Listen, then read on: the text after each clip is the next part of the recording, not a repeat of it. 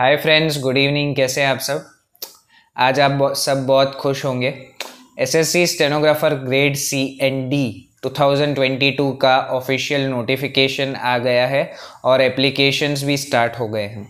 जी हाँ दोस्तों, आज से लेकर यानी ट्वेंटी अगस्त से लेकर फिफ्थ सितंबर रात को 11 बजे तक फिफ्थ सितंबर तक आप एप्लीकेशन कर सकते हैं।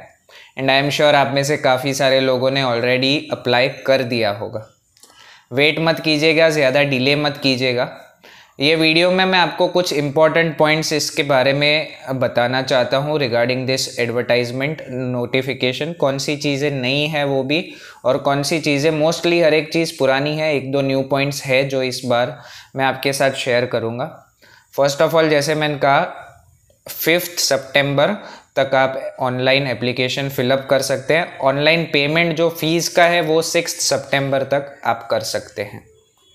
वैकेंसीज़ के बारे में इन्होंने अभी अपडेट नहीं दिया है but we expect a good number of vacancies अच्छी वैकेंसीज आए, ऐसा सब हम होप करते हैं एक्सपेक्ट करते हैं एंड आई एम श्योर आप प्रे भी कर रहे होंगे।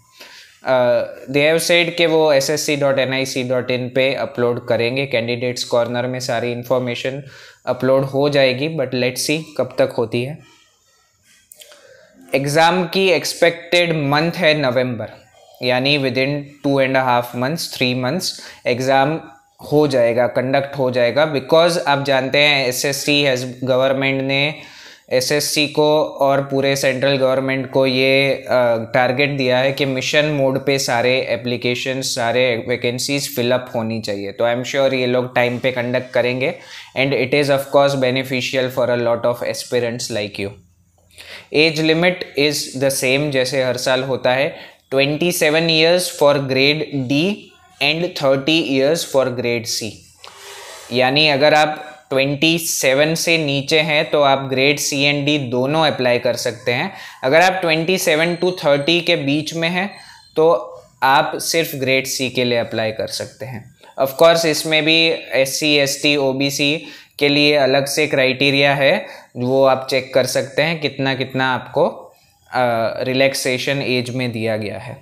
Essential qualification is of course twelfth twelfth standard मतलब आपका ट्वेल्थ स्टैंडर्ड पास होना चाहिए। अगर आप ट्वेल्थ पास नहीं है आई मीन टू से अगर आपने कोई डिप्लोमा किया है या आपके पास कोई इक्विवेलेंट सर्टिफिकेट भी है तो आप अप्लाई कर सकते हैं इसके लिए। बहुत सारे क्वेश्चंस पहले आ चुके हैं। तो उन्होंने क्लैरिफाई भी किया हुआ है कि if you have an equivalent certificate या कोई आपने बी टेक एम टेक किया है या डायरेक्टली डिप्लोमास किए हैं तो you can apply for this examination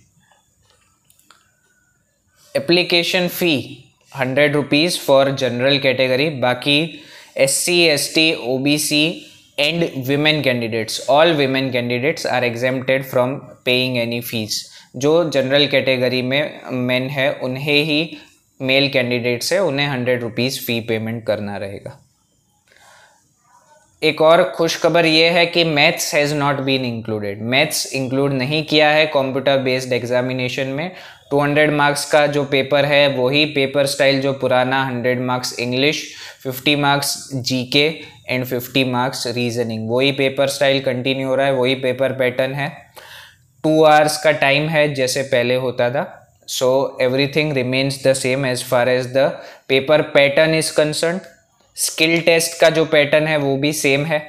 100 words पर minute for grade C and 80 words पर minute for grade D 100 words पर मिनट, जो ग्रेड सी का डिक्टेशन है, वो 10 मिनट्स का होगा और टाइपिंग के लिए 40 मिनट्स दिए जाएँगे। यानी 1000 वर्ड्स आपको टाइप करने होंगे इन 40 मिनट्स वहीं ग्रेड डी 80 वर्ड्स पर मिनट 10 मिनट्स यानी 800 वर्ड्स इन 50 मिनट्स तो ग्रेड सी में वर्ड्स भी ज़्यादा है और टाइपिंग स्पीड भी फास्ट है। ग्रेड डी में आपको ज़्यादा टाइम भी मिलता है और स्पीड भी कम है। बट ऑफकोर्स उसकी सैलरी में भी डिफरेंस होता है।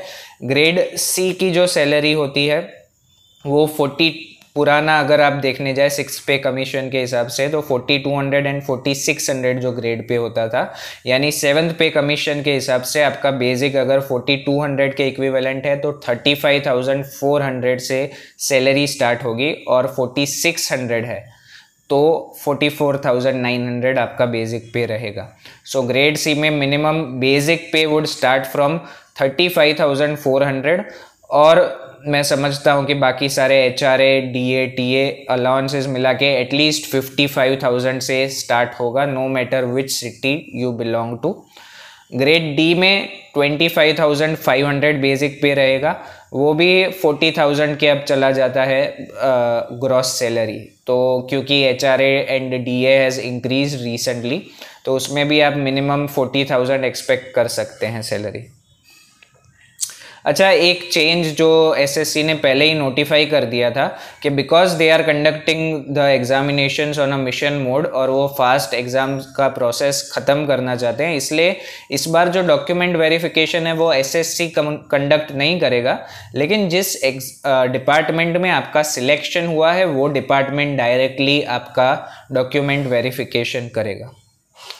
So that's a good thing इससे एप्लीकेशन प्रोसेस सिलेक्शन प्रोसेस जो कंप्लीट प्रोसेस है, वो फास्टन हो जाएगा, ऐसा मेरा मानना है. लेट्स सी तो ये सब है मेन पॉइंट्स कैसे प्रिपेयर करना है, क्या करना है, आप सब ऑलरेडी जानते हैं आई एम श्योर कई सारे बच्चे ऐसे होते हैं कि कब आएगा कब आएगा कब आएगा एडवर्टाइजमेंट फिर जब एडवर्टाइजमेंट आता है, महीनों से वेट करते हैं, फिर पूछते हैं आप पढ़ना क्या है? तो मोस्ट इंपॉर्टेंट चीज़ ये है कि you should be prepared about what to study how to study वो सब चीज़ें तो पता होनी चाहिए। Rather than being time conscious about exam कब आएगा कब आएगा एग्ज़ाम तो अपने टाइम पे आ ही जाता है, लेकिन दिक्कत ये होती है कि लोग स्टूडेंट्स प्रिपेयर्ड ही नहीं होते हैं। उसके रिगार्डिंग भी मैं अलग से वीडियो तो बनाऊँगा स्किल टेस्ट के रिगार्डिंग भी, और C B E computer based examination में भी आप कैसे प्रिपेयर कर सकते हैं।